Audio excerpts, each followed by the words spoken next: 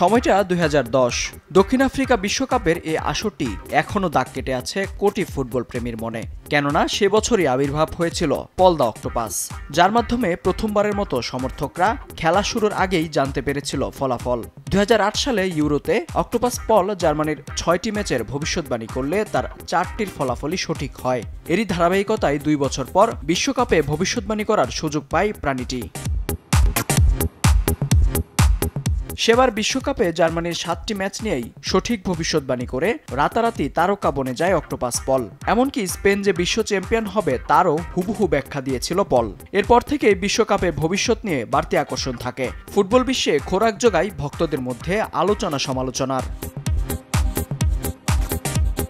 দু হাজার দশ সালে পল মারা গেলেও এর ধারাবাহিকতা থেকে যায় দু হাজার চোদ্দ সালের ব্রাজিল বিশ্বকাপেও। সেবার পলের জায়গায় আনা হয়েছিল সুইজারল্যান্ডের গিনিপিক মাদামে শিভাকে। মাদাম শিভাকে নিয়ে ভবিষ্যৎবাণী করানোর চেষ্টা চালানো হলেও পলের মতো সাফল্য আসেনি। তাতেও হাল ছাড়েনি ফুটবল প্রেমীরা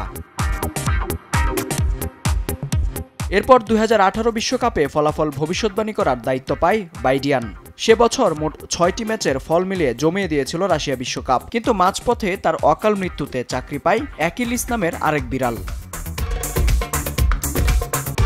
দুই হাজার বাইশ কাতার বিশ্বকাপেও রয়েছে ফলাফল আগে জানার সুযোগ। এরই মধ্যে কাতারে ভবিষ্যৎবাণী করার দায়িত্ব দেওয়া হয়েছে ক্যামেলিয়া নামের একটি মাদি উটকে। বেশ কয়েকটি ম্যাচের ভবিষ্যৎবাণী করে আলোচনায় রয়েছে এ প্রাণীটি। বিশ্বকাপের স্বাগতিক দেশ কাতারে উটের বিশেষ স্থান রয়েছে। উটদৌড় এ দেশটিতে খুবই জনপ্রিয় এবং ঐতিহ্যবাহী প্রতিযোগিতার জন্য পোষা হয় উট। মেহেদি হাসান, সময় সংবাদ।